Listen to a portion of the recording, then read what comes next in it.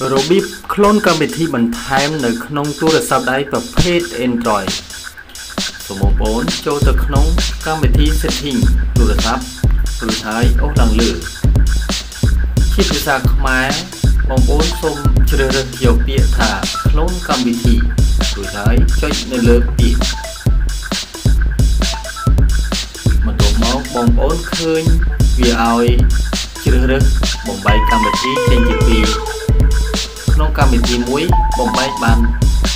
តែមួយទេអាចបំបែកបាន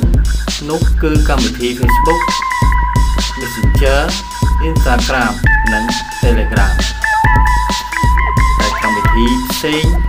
ដែលបងប្អូនចង់បំបែកគឺមិនអាចបំបែកបានទេគឺទូរស័ព្ទវាតម្រូវឲ្យបំបែកបានតែប៉ុន្មានកម្មវិធីនេះទេ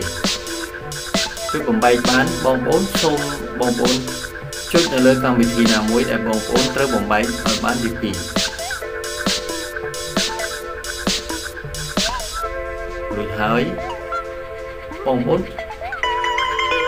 នេះជាកម្មវិធីដែលខ្ញុំបើកហើយតែបើមិនទាន់បានបើកបងប្អូនសូមចុចគ្រីសហ្នឹងគឺវា load ឈ្មោះនៅខាងក្រោមនេះបន្ថែមទៀតតែឈ្មោះខាងក្រោមយើងអាចដាក់ឈ្មោះតាម របៀបដែលយើងដាក់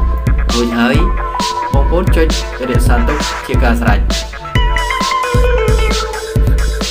សូមអរគុណបងប្អូនទាំងអស់គ្នាដែលរាល់ការតាមដានទស្សនាវីដេអូរបស់ខ្ញុំបានពីដើមដល់ចប់សូមកុំភ្លេចចុច Subscribe និងរូបកណ្ដឹងម្នាក់មួយផងដើម្បីទទួលបានវីដេអូនិងព័ត៌មាន